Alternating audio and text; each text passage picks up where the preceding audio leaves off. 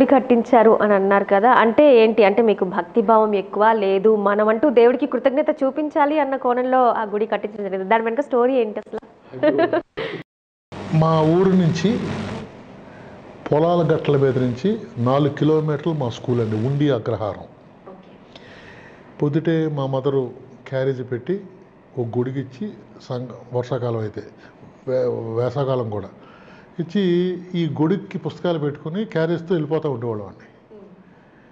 ఈ మధ్యలో చిన్న చిన్న అల్లర్లు ఉంటాయి కదా అంటే ఆ రోజుల్లో స్కూల్ ఎగ్గొట్టి సినిమాలకు వెళ్ళి పరిస్థితి కాదు. వెళ్ళి వెళ్ళి కుర్రోళ్ళు కూడా ఉన్నారు. కానీ మేమేంటంటే స్కూల్ ఎగ్గొట్టి సరదాగా చేపలు పట్టడం గ్యాల గ్యాల గ్యాల వేయటం ఇది అలవాటు. సరదాగా ఏదన్నా సంవత్సరానికి ఒకసారి ఉండొచ్చు. మా ఊరు నుంచి అంటే ఆ మెయిన్ రోడ్డుకి ఒక యాభై మీటర్ల దూరంలోనే అంటే ఊరు కనబడుతూ ఉంటుంది. ఒక దెబ్బ మీద కూర్చుని ఆ బోధిలో గురకలు చావుడేలు ఉంటే అట్లా పడతా చేసి మధ్యాహ్నం భోజనం చేసి మళ్ళీ మొదలెట్టి ఒక్కొక్కరు ఇన్ని చేపలు పంచుకుంటున్నాం. ఆ పంచుకుంటున్నప్పుడు నేను ఒక రాయి మీద కూర్చున్నాను. ఆ దూరంగా ఆయన అరే ఏం చేస్తున్నారా? అని దగ్గరికి వచ్చాడు. చేపలు పడుకుంటున్నా అన్నాం. అంటే నన్ను బూత్ తిట్టాడు. తిట్టి నువ్వు ఎక్కడ కూర్చున్నావో తెలుసురా? అన్నాడు. ఆ బూత్ నాకు కోపం వచ్చింది. ఏంటి ఇలా తిరుగుతున్నావు నువ్వు ఎక్కడ కూర్చున్నావు నువ్వు ఎక్కడ కూర్చున్నావు ఏదో మీ నాన్న అడగ చెప్తాడు. అన్నాడు. అసలు నేను స్కూల్ మానేశాను ఆ చేపలు ఏం పట్టించుకోలే. ఆ కోపంతో ఇంటికి వచ్చి మా డా మా నాన్నగారిని అడిగాను. నాన్న ఇలా కూర్చుంటే ఇలా అడిగాడు ఆయన ఏంటి ఇది నన్ను మా బూత్ తిట్టాడు? అని చెప్పి ఆ బూత్ చెప్పి ఏడుతున్నా. ఆయన ఒక- కథ చెప్పాడు. అవకాశం వస్తే ఈ కథను నేను సినిమా తీయటానికి కూడా రెడీ చేసి పెట్టుకున్నానండి. నేను సెవెంత్ చదువున్నప్పుడు మా ఫాదర్ చెప్పారండి నాకు. ఆయన ఏం చెప్పారంటే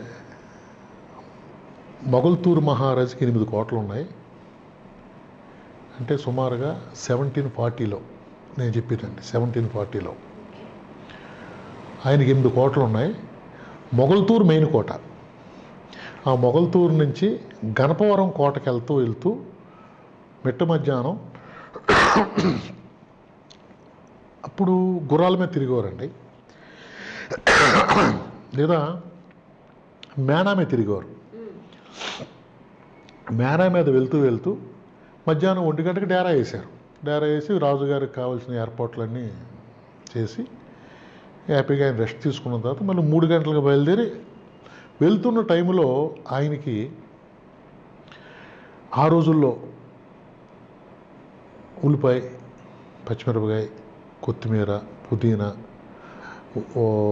మెంతులు వాము వేసినటువంటి ఒక చల్లటి మజ్జిగి ఓ ఇచ్చారు. ఆయన చాలా బాగుందని చెప్పి ఇంకో ముంత తాగారట. వెళ్ళిపోయారు. వెళ్ళిపోయి పని చూసుకుని నెక్స్ట్ డే మధ్యాహ్నం ఎప్పుడో బయలుదేరి మళ్ళీ వస్తూ వస్తూ "మీ- నిన్న ఎక్కడ వేసారో డేరా అక్కడ వేయండి అయ్యా అని చెప్పి చెప్పేశారు అయిపోయింది. డేరా వేశారు ఈయన భోజనం అయింది మూడు గంటలకు మజ్జిగ రాలేదు. మరి ఆయన ఏంటి ఏంటి మజ్జిగ అడిగాను కదా మజ్జిగ రాదంటే ఆయన అన్నాయంట అది అది ఆ రోజున ఎవరో ఉన్నారండి ఇక్కడ వాళ్ళు పట్టుకొచ్చి ఇచ్చారు అని చెప్పి అతని మాటలో ఆయనకు ఒక డౌట్ వచ్చిందట. ఏంటి నువ్వు డౌట్గా మాట్లాడుతున్నావు? ఏంటి అసలు జరిగింది? ఏంటి? అని అంటే ఆయన ఇక్కడ కాదండి కృష్ణా జిల్లా. ఏదో వచ్చారండి ఇది ఇచ్చారు ఇప్పుడు లేరండి వెళ్ళిపోయారు. నిన్న వెళ్ళింది మొన్నే కదా మొన్నటికి నిన్నటికి ఇవాళకి ఎక్కడికి వెళ్ళిపోతారు? పిలిపించి ఈ రోజు నైట్ ఇక్కడ ఉంటున్నాం ఆయన అక్కడికి మూడు కిలోమీటర్లు వెళ్ళిపోయారండి. వెళ్ళిపోతే వీళ్ళు వెళ్ళి రాజుగారు రమ్మంటున్నారని చెప్పి తీసుకొచ్చారండి. తీసుకొచ్చి ఏమండి మీది? ఏ ఊరు అని అడిగారు ఆయన. అడిగితే మాది కృష్ణా జిల్లా మంగళగిరి అదే మన మచిలీపట్నం పక్కనే చినవేగి మీరు ఏం చేస్తారని అడిగారు. అడిగితే మాది పశు సంపద ప్లస్ ఉప్పు ఎక్స్పోర్ట్ కంట్రీస్కి. అప్పుడు పోర్ట్ ఉండేదండి మచిలీపట్నం పోర్ట్ ఉండేది. ఉప్పు ఎక్స్పోర్టు ప్లస్ ఇది. మరి మీరు ఎందుకు వచ్చారు ఇక్కడికి? మాది పశు సంపద రెండు వేల గాళ్ళు రెండు వేల గాడి అంటే రెండు అండి రెండు వేల గాళ్ళు అంటే నాలుగు వేల పశువులతో వచ్చాడు ఆయన. వచ్చి మనిషికి చేంజ్ ఆఫ్ ప్లేస్ ఎంత ఇంపార్టెంటో పశువుకు కూడా అది కావాలండి అని చెప్పి ఆయన ఒక గ్రాఫ్ చెప్పి ఈ సంవత్సరం అక్కడ చేసామంటే ఒక రెండు నెలలు ఇక్కడ ఉందామని వచ్చాం. ఏదో రాజుగారు వచ్చారు కదా అని మజ్జిగ ఇచ్చాను మీ రంగాచార్య గారు తోక కానీ ఈ ఇది అడిగాడు ఏమడిగాడు ఏమంటారు దాన్ని? మేపుకున్నంతకు భరణం అడిగాడు. మీకు భరణం కట్టి మేపుకునేంత అసమర్థులం కాదండి మేము అసమర్థులం కాదు. కనుచూపు మేరంతా మాదే అక్కడ. కాబట్టి మాకు అక్కర్లేదు అందుగురించి వెళ్ళిపోతున్నామండి అన్నాను కోప్పడకండి సార్ మీ పేరేంటి అని అడిగాడంటే ఆయన. నా పేరు పేరంటాళ్ళు అన్నాడంటే ఆయన. ఓకే. మీరు నాతో ఇవాళ ఆదిత్యం స్వీకరిస్తున్నారు. ఈ రోజు నేనేం చెప్తే రేపు పొద్దుటి వరకు అదే మీరు చేయాలి చేస్తారా? ఓకే దానికి ఉంది. ఫ్రెండ్లీగా చెప్తున్నారా? లేకపోతే కమాండింగ్గా చెప్తున్నాను అడిగాట నేను ఫ్రెండ్లీగా అడుగుతున్నానండి పేరెంటాల్ గారు అని. పడుకున్నారని ఇద్దరు ఫోన్ చేశారు. నేను వన్ ఓ క్లాక్ లేపుతాను లేవండి సార్ అన్నాయంట. వన్ ఓ క్లాక్ లేచి అండ్ వన్ ఓ క్లాక్ అంటే తొలికూడు కొయ్యటం అండి. వన్ ట్వంటీ ఫైవ్ అంతా అవుద్దండి తొలికూడు కొయ్యటం ఆ టైంలో లేపి నెత్తి మీద కొండ పెట్టి మీరు సూర్యోదయం లోపు ఎంత తిరిగి వస్తారో అంత తిరిగి రండి. యాన్ తిరిగి రండి చెప్తాను అని అన్నాయంట అంటే ఈయన మొదలెట్టాడు తిరగటం. తిరిగి మళ్ళీ అక్కడికే రావాలి.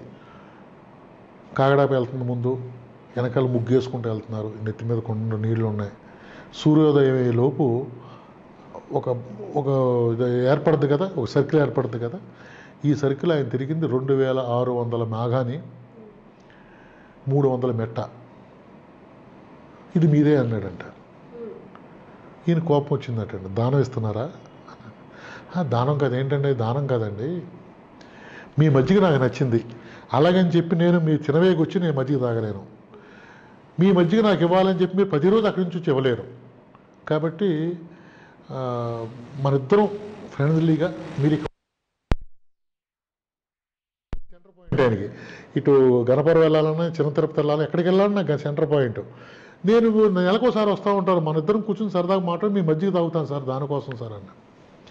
నాకు ఊరికనే వద్దండి ఇది కొంత దీనికి ఇవ్వండి అంటే సరే మీ ఇష్టం మీరు ఎంత ఇస్తారో ఇవ్వండి అని చెప్పి ఒక అగ్రిమెంట్ రాసుకుని ఆ అమౌంట్కి ఆయన ఇచ్చేసి నేను ఇంకోటండి కండిషన్ పెట్టాను మా మదరు ఫాదరు మా బ్రదర్స్ ముగ్గురు అండి వాళ్ళతో మాట్లాడి నేను రావాలి. నన్ను వచ్చి చెప్పమంటారా? అక్కడ అక్కడ నేను ఒప్పించుకొని వస్తానండి అన్నాడు ఈయన వెళ్ళి ఈ పేరెంట్ వాళ్ళన్న ఆయన అక్కడికి వెళ్ళి చెనవేగి వెళ్ళి అందరినీ ఒప్పించుకొని కొన్ని పశువులతోటి ఒక చాకలి ఫ్యామిలీ. అంటే ఒక మనిషి బతకటానికి కటింగ్ చేయటానికి కుమ్మరి కొనుగోలు చేయటానికి ఒక మాదిగా అంటే చెప్పులు కొట్టడానికి మన పశువులు పోతే దాన్ని తోలు తీయటానికి. ఇలాగా ఎవరు ఫ్యామిలీస్ కావాలో ఆ ఫ్యామిలీస్ అందరినీ తలగో ఫ్యామిలీ తీసుకుని ముహూర్తం పెట్టుకున్నారు. రేపొద్దున బయలుదేరుతామనగా ఆయనకి కల్లో ఆ ఊరి దేవత పైడమ్మ కల్లోకి వచ్చింది. అందరినీ తీసుకెళ్తున్నావు? నన్ను తీసుకెళ్ళవా? అని అడిగిందంట ఆవిడ. ఆయన ఏం చేశాడు? నెక్స్ట్ డే మార్నింగ్ గుడికాడికి వచ్చి ఆవిడకి దండం పెట్టుకుని ఇలా చూస్తూ ఒక రాయి ఉంది అక్కడ ఆ రాయికి పసుపు రాసి కడిగేసి పసుపు కుంకుమ రాసి ఒక కొబ్బరికాయ కొట్టి దాని భుజం మీద వేసుకుని ఇక్కడ తీసుకొచ్చాడు ఆయన.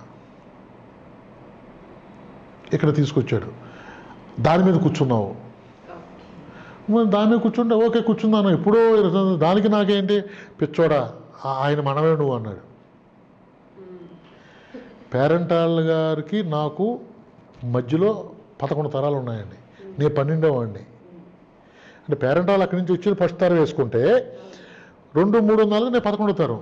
మరి ఇంత హిస్టరీ ఉన్న నా నా వనరెడ్డి ఫ్యామిలీకి ఏం చేయాలి నేను? ఏం చేయగలగాలి?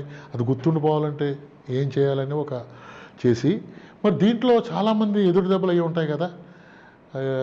అంటే ఒక మనిషి ఎదుగుతూ ఉన్నా ఒక మనిషి ఏదైనా చేస్తూ ఉన్నా దానికి ఏదో ఉంటుంది. కాబట్టి నేనేం చేశానంటేనండి ఇది నిజమా అబద్ధమా ఏంటి అనేది ఎంక్వైరీ చేసుకుని నాకు ఇక్కడ చాలామంది తెలుసున్న వాళ్ళు ఉంటే వాళ్ళతోటి.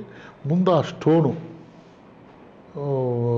ఏంటి ఎక్కడిదంటే అది కృష్ణా జిల్లాలో పలానా చోట నుంచి వచ్చిన ఏరియాదే ఇది వెస్ట్ గోదావరిలో ఇటువంటి స్టోన్ లేదు. ఓకే అయిపోయింది నిర్ధారణ అయిపోయింది. అప్పుడు నేను సెంట్రల్ లైబ్రరీకి వెళ్ళి బుక్స్ తెప్పించి నైన్టీన్ ఫార్టీ త్రీ ఆ టైంలో ఎవరు అయ్యప్పరాజు గారు అని ఆయన పంచారు ఆయన ఏళ్ళకి వాళ్ళకి ఇచ్చారు అన్న దాంట్లో అవి కూడా చదివి ఇది ఒక బుక్ కింద రాసుకుని చేసి ఎందుకు మరి ఆవిడని వదిలేశారు అంటే ఇంత ఇన్ని వేల ఎకరాలు ఉన్నా సరే అమ్మవారిని చెట్టు కింద పెట్టుకుని పూజ చేసేవారు వాళ్ళు. చేసేవారు. తర్వాత తర్వాత కొన్ని కొన్ని ప్రాబ్లమ్స్ వల్ల ఊర్లో రెండు పార్టీలు రావటం. పార్టీలు ఇడిపోవటం. మాది కాదు ఈవిడ అని చెప్పి కొంతమంది వెళ్ళిపోవటం. మాదని కొంతమంది రావటం. ఈ దాంట్లో దాన్ని వదిలేశారు. అంటే అప్పుడు నేను ఒకటి అనుకున్నానండి. మళ్ళీ అక్కడికి వెళ్ళి మొక్కుకుని మళ్ళీ నీతి పాత అనుభవం అదే పాత వైభవం నీకు రావాలి అలా నన్ను దీవించు. వస్తే మాత్రం నా భార్య పిల్లల తర్వాత ముందు నిన్ను చూసే అప్పుడు పెళ్ళి అవ్వలేదండి. నేను అప్పుడు మొక్కున్నాను సెవెంత్ క్లాస్లో. నా చుట్టాలు మా అందరూ తర్వాత. నాకు పెళ్ళి అనుకో వాళ్ళ తర్వాత. నిన్ను చూసిన తర్వాత వాళ్ళని చూస్తానని చెప్పి మొక్కున్నానండి టూ థౌజండ్లో క్షేమంగా లాభంగా రండి అయిన తర్వాత వన్నివరెడ్డి వాళ్ళందరూ ఎక్కడున్నారో పట్టుకుంటాక నాకు సుమారుగా ఎనభై వేలు అయిందండి. అమెరికాలో అక్కడ ఇక్కడ మొత్తం సుమారుగా ఒక నూట పాతిక ఫ్యామిలీస్ ఉన్నారు. అందరికి ఇన్ఫామ్ చేశానండి. ఇలాగా నేను సో అండ్ సో నేను సినిమా డైరెక్ట్ చేశాను. నేను కాబట్టి మళ్ళీ వంద రెండు వాళ్ళ ఫ్యామిలీ ఇక్కడది ఇది అని చెప్పి పంపించి పలానా రోజున అమ్మవారి జాతర చేస్తానని చెప్పి ఆ రోజుకి నేను గ్యాదర్ చేస్తే వెయ్యి మంది వచ్చారండి. వెయ్యి మంది మూడు రోజులు పెట్టి అమ్మవారి జాతర చేసి టూ థౌజండ్లో మా టూ థౌజండ్ అండి. సారీ టూ థౌజండ్ వన్ పంపించేశానండి అయిపోయింది. అప్పటి నుంచి ఏం చేయాలి ఏం చేయాలి ఏం చేయాలి అని చెప్పి నేను గుడి కట్టాలనే థాట్ నాకు ఎందుకో రాలేదండి. టూ థౌజండ్ వన్ చేశాను టూ చేశా. Three gap year by year చేద్దాం వన్ ఇయర్ గ్యాప్ ఇద్దాం అని చెప్పి ఉద్దేశంతో టూ థౌజండ్ నైన్ వరకు చేశానండి. చేసిన తర్వాత ఏదో అడ్డంకి వచ్చి ఆగిపోతుంది. చేయనివ్వట్లేదు ముందుకు వెళ్ళట్లా. ఒక సంవత్సరం మా మదర్ కుంట్లో పోబోతాం. ఒకసారి ఎవరో ఎల్లుండే ఫంక్షన్ అని అన్నీ ఓకే చేసుకున్నాక ఎవరో ఇలా ఇలాగా బ్యాడ్ జరుగుతుంది. అప్పుడు ఒక ఆయన పిలిపిస్తే అన్నారు ఆయన మీరు తప్పు చేశారండి. అసలు ముందు జాతర చేయకూడదు మీరు. అమ్మవారు గోతులో ఉంది. అంటే పంచాయతీ రోడ్డుకి అంటే ప్రజలు నడిచే రోడ్డుకి ఎప్పుడూ పైనే ఉండాలండి దేవుడు కింద ఉండకూడదు. అప్పుడు నాకు అర్థమైంది. అందుకనే కొండల మీద ఉంటారు దేవుళ్ళు అందరూ అని నడిచి నడిచి దారికి పైన ఉండాలి తప్ప కింద ఉండకూడదు. అమ్మవారు కింద ఉన్నారు ఎప్పుడుదో త్రీ హండ్రెడ్ ఇయర్స్ బ్యాక్ది కదా. అని అంటే అప్పుడు ఆయన చెప్పింది ఏంటంటే మీకు ఏమన్నా ఓపుకుంటే అమ్మవారిని ఒక పంచాయతీ రోడ్డుకి ఒక అడుగు పైకి లేపండి. మీరు బాగుంటారు ఊరు బాగుంటుంది ఒకసారి లేపి చూడండి అన్నారు. మనం మాట్లాడండి మనం అంత చేయాలంటే ఎలాగని చెప్పి వన్ ఇయర్ స్ట్రగుల్ పడి సరే అని చెప్పి ఒక రెండు లక్షలు పెట్టి ఒక ఒక దిమ్మ కింద కట్టి పైన రేక్ కింద వేసి అమ్మవారిని అక్కడ పెట్టేద్దాం అన్న ఉద్దేశంతో స్టార్ట్ అయ్యానండి. మళ్ళీ ఎలా జరిగిందో ఏంటో అలా అలా అలా దానికి ట్వంటీ ఫైవ్ ల్యాక్స్ దాకా అయింది. బ్రహ్మాండం గుడి కట్టామండి. ఎవ్రీ టూ ఇయర్స్కి జాతర మొద- జాతర చేస్తున్నామండి. మొన్న మే టెన్త్ని ఆడబ ఊరి ఆడపడుసులందరూ కూడా బాగా దూరంగా వెళ్ళి పుట్లో పుట్టలో పోలొస్తూ ఉంటారు. అనుకోకుండా అమ్మవారి గుడి అదే ఇదే ఇదే ప్రాంగణంలో పుట్టొచ్చింది. పుట్టొచ్చింది కదా అని చెప్పి అక్కడ నాగదేవత ప్రతిష్ఠ కూడా చేసామండి మొన్న. ఈ విధంగా వందరెడ్డి వాళ్ళందరూ కలవటానికి ఆ గుడి కారణమైందండి. ఇప్పుడు ఎవరు ఎప్పుడైనా ఇప్పుడు కలవాలంటే ఇప్పుడు నేను నేను వెళ్ళకపోయినా జాతర జరుగుతూ ఉంటుంది. అక్కడ వెళ్తే వందరెడ్డి వాళ్ళు అందరూ వస్తారు. కాబట్టి సంవత్సరానికి ఒకసారి కలవటం. అలాగే అదృష్టం ఏంటంటేనండి ఆయన మరి సిద్ధాంత గారు మహానుభావుడు ఏం ముహూర్తం అని చెప్పాడో అమ్మవారిని పైకి లేపిన తర్వాత ఊరు సస్యశ్యామలంగా ఉందండి. అంటే రోడ్లన్నీ సిమెంట్ రోడ్లు అయిపోతాం ఎవరో ఎవరో ఎవరో ముగ్గురు మన సోమరాజు గారని మన బలరామకృష్ణరాజు గారని బోసరాజు గారని ఇలాగ నలుగురు ఐదుగురు కలిసి బంగారాజు గారని వాళ్ళు ఒక మంచి థాట్ భగవంతుడు కలిగించి బ్రహ్మ ఊరినంతా సస్యశ్యామలంగా చేస్తున్నారనమాట ఓకే ఇప్పుడు మనం మనం ఎందుకు చేసాం ఊరు బాగుండాలి మనం బాగుండాలి మనతో పా- ఊరు బాగుండాలి ఊరితో పాటు మనం బాగుండాలని చేసాం ఆ విధంగానే వెళ్ళిపోతుంది బ్రహ్మాండంగా.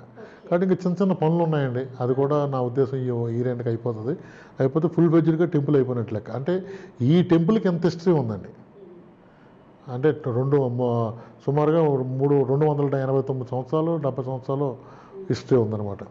అందుకని చెప్పి ఎప్పటికీ ఆ ఊర్లో అంటే ఇప్పుడు ఈ ఇరవై సంవత్సరాల నుంచి మర్చిపోయారు కానండి పేరెంటాల్ పొంత అనేవారండి. అంటే ఎక్కడైతే రాజుగారు ఈయన కలిచారో దాన్ని పేరెంటాల్ పొంత అని కూడా పెట్టారు.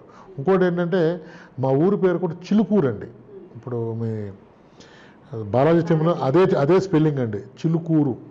ఆ చిలుకూరు అనే పేరు ఎలా వచ్చిందో దానికి ఒక కాజు ఉందండి. వీళ్ళు మజ్జిగి పెరుగుని పెరుగుని చిలికి అమృతం లాంటి మజ్జిగ ఇచ్చారు కదండి. అందుకని చెప్పి చిలికేరు అని పెట్టారటండి యాక్చువల్గా ఆ చిలికేరు చిలికేరు చిలికేరు ఆ చిలుకూరు కింద డైవర్ట్ అయింది. అదే అది